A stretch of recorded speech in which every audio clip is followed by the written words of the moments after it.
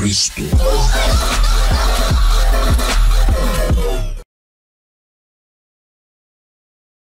View the following spoilers with discretion, my friends.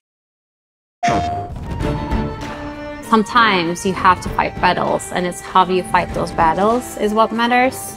And I think knowing that you don't have to go through it alone is important, and you can have people around you. And I think that's what Kratos and Atreus and everyone in this game kind of learns.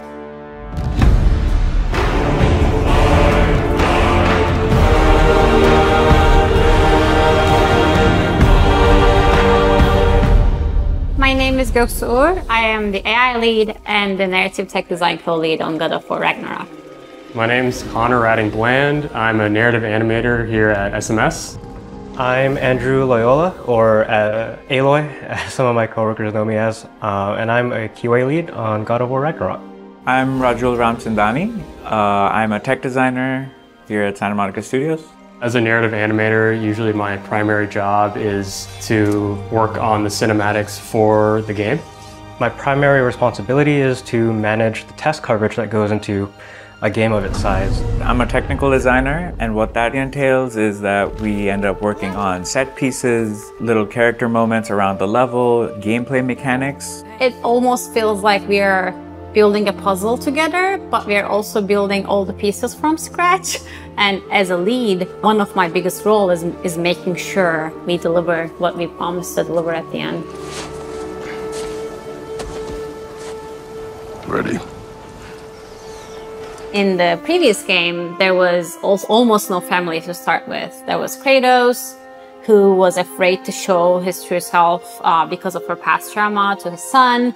And we watched them kind of build that relationship as the game goes on. And we kind of got to a point where they were father and son at the end.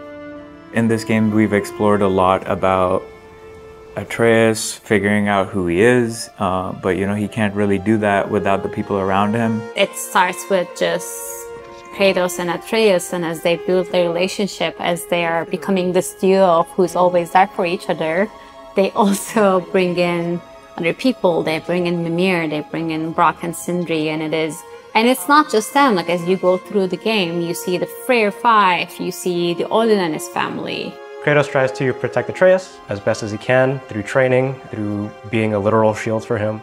But Atreus wants to get out there and figure out what he needs to do on his own. And throughout the entire game, they're just butting heads on, I need to do this myself, or no, we, this is not our business, we need to protect ourselves.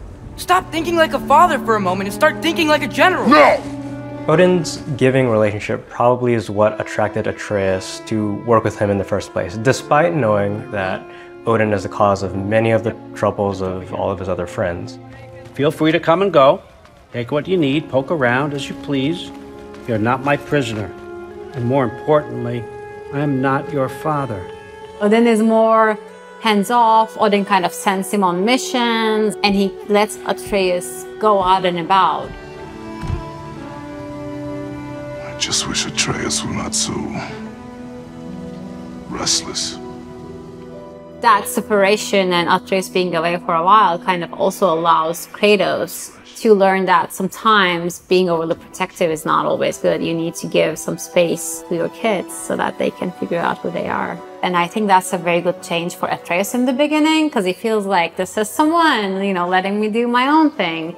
But we kind of figure out later on that Odin is only warm up until a point when your usefulness has run out. And that's when we see his true colors and Atreus kind of realizes that everything that Odin has given him, while maybe useful, is a facade. Thor was really great. I learned a lot from him. You learned something from him? Really now? okay. What did you teach the kid? Nothing. What could I possibly teach him? Exactly.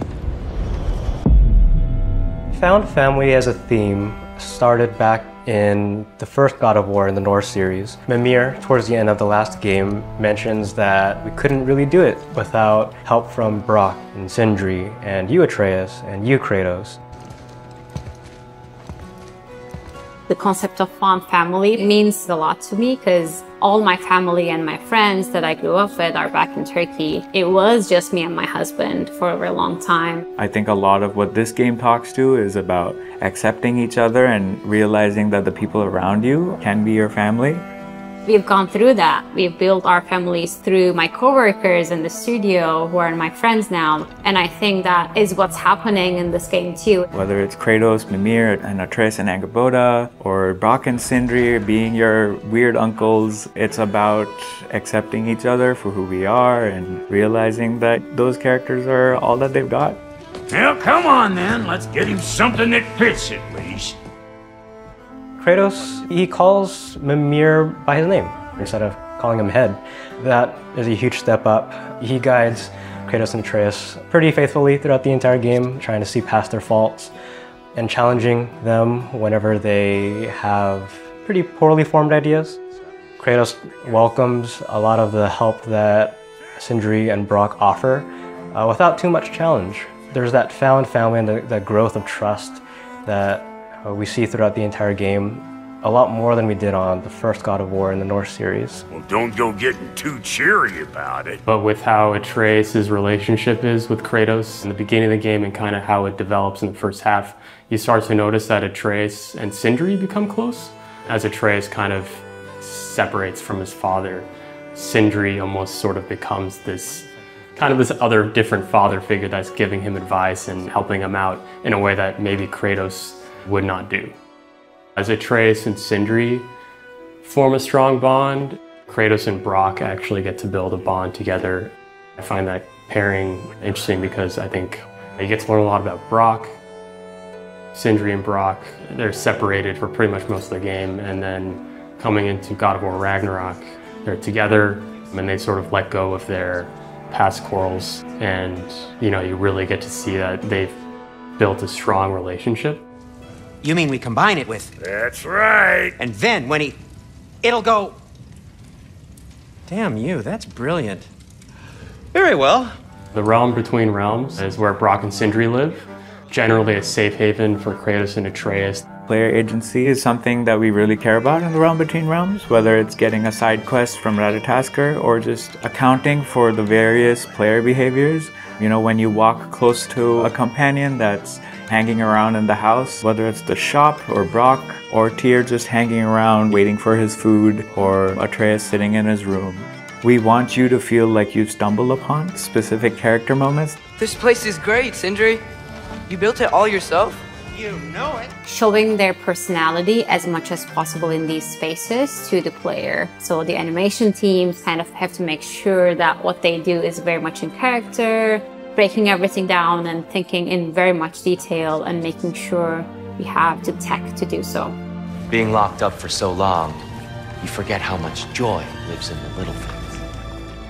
Another relationship that I think is interesting is the relationship between Kratos and Freya. Last game, you see them build this relationship and you even see Atreus look up to her as almost a mom. Now, beginning of this game, you have a very angry Freya chasing you. But through the course of the game, you kind of see them work through that and mend broken relationships and kind of come back stronger. I do not regret saving your life, and never will. But the choice between life and death should have been yours to make. I should not have robbed you of that choice.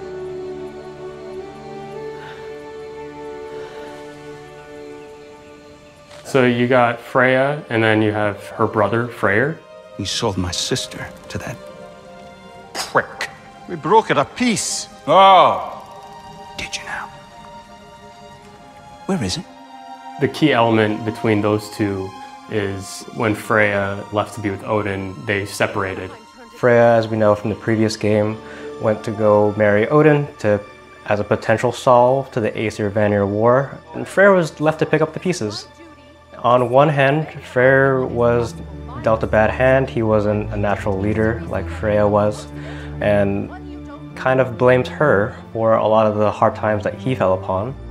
Both of them thought they were trying to do the right thing, and the other thought that it wasn't the right thing to do. In this game, you kind of find out that Freya felt abandoned by Freyr, and you get to see those two come together and be a strong family again.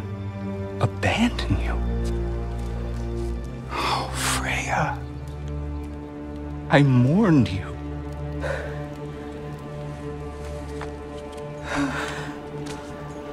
Oh, I've missed you so much.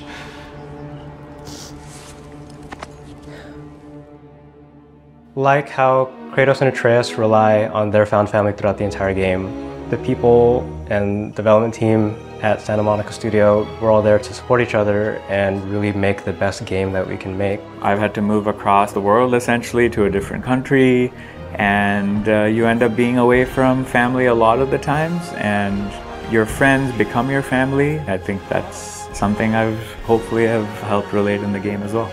You know, I've really grown to love the narrative animation team here. It feels exciting in that we're all kind of coming together to create this awesome game. With all the relationships in the game, I think the biggest lesson is everybody has room to grow and room to write their own destiny. Life takes you through different paths, and sometimes you go through struggles, and how you go through them is important. And I think the family that you built around yourself it would be there to fight those battles with you.